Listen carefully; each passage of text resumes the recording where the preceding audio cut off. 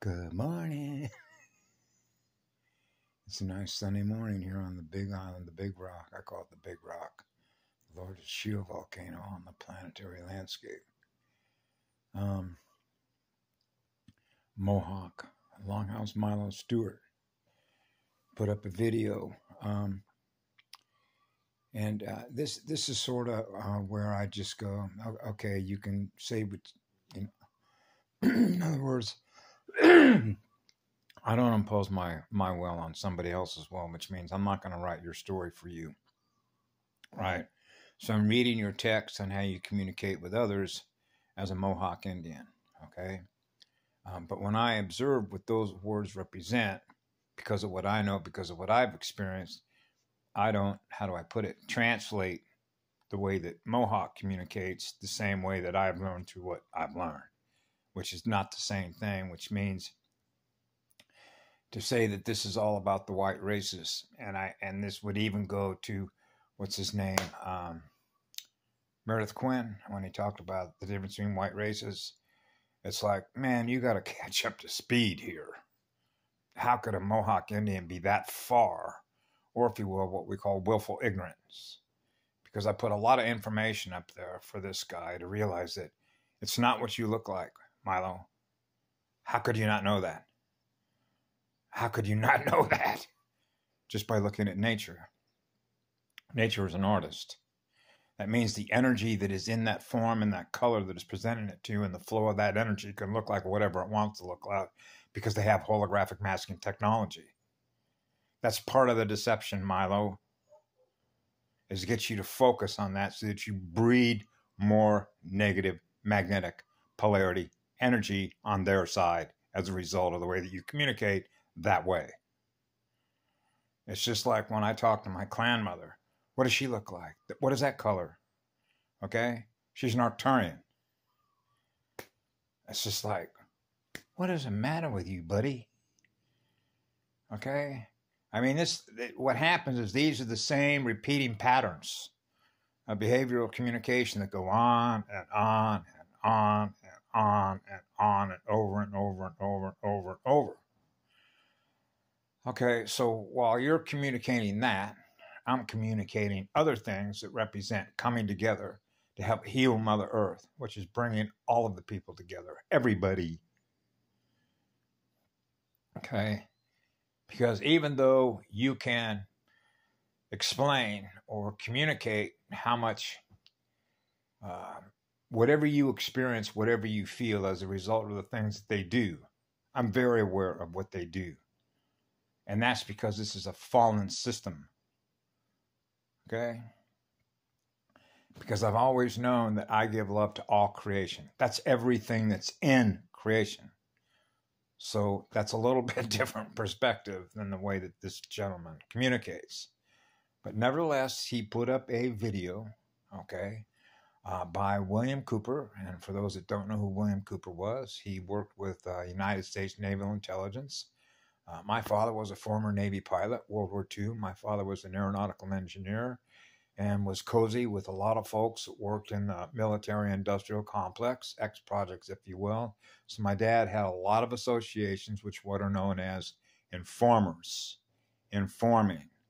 So my dad began spoon feeding me information when I was a child growing up with documents like uh, secret what is it secret weapons for silent wars which basically is in a, a schematic a diagram of how they feed on our energy what their plan was and then that was followed up later on by the book that was by william cooper okay which they murdered by the way as a result of informing too much information was being released, uh, not just through him, but many others that came out of those programs, programs that were blowing the whistle and telling people the truth. But they don't want to know the truth. And the reason they don't want to know the truth is because when you begin exposing the programs that people are running, uh, they have a tendency, because I've experienced what their reaction state is, that they feel stupid, that you're smarter than they are because you're not controlled by what they're controlled by by virtue of the programs they're running that you're not running. And so now you're exposing their programs and they get angry and they merit that at you by the fact that they began to realize they've been programmed to experience the reality the way that they do because they're in a fallen system. Okay. Octelius does a great job breaking a lot of that down. So do many of us that are out there. That's why I've always said when I was a child, knowing the difference between what love is and what love isn't. When you're experiencing that many people that are not experiencing what love is, that's a fallen system. That's self evident. Okay?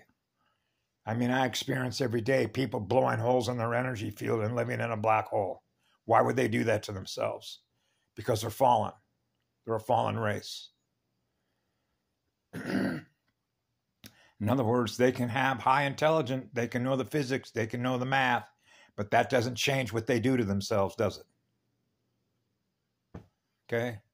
They're trying to catch up to zero and they're never going to get there because they're always going to be behind because they don't know how to balance their energy and live in a state of peace with everybody else.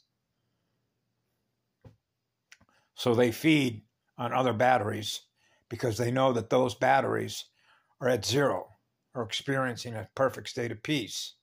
So they go after the batteries. So they're vamps, they're vampires. So now you have vampires and bigger vampires. So that's why the biggest vampire at the top, which is the emperor, which is what William Cooper talks about, creates a Roman circus. And he did a great job in a very short period of time because all you have to do is go back in history to the first Roman Empire when Rome was sacked. It came about as the Camel's Eye Treaty in 408 AD. AD, Anu Domini, Anu dominates. Anu, the Anunnaki, the Dracos, right? So all you have to do is look at the Roman Empire when it split. Now you have Westgate, Eastgate, right? So in other words, all their mass media. It's just like when I was a child growing up. I called them carnival barkers, snake oil salesmen, snake oil, right? Cold-blooded killers, apex predators. So when the emperor realizes too many people are waking up, hey, so he he did a brilliant expose about why would they pay some guy two million bucks a year to go out on a football field in an arena like that? Well, they suck energy out of those places. It's just like a homeless shelter is a loose bin.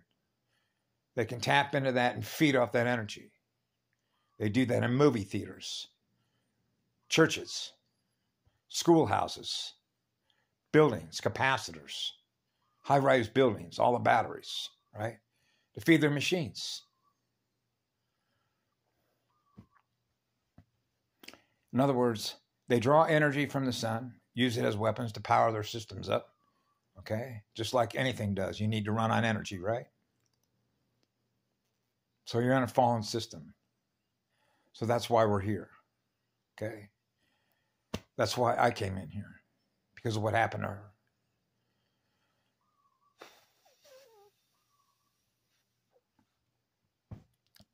So it's, it's one of the reasons why I go into a lot of their sports media channels and hammer on a lot of these different channels because other people not only see that, but it's like letting them know now they're getting messages.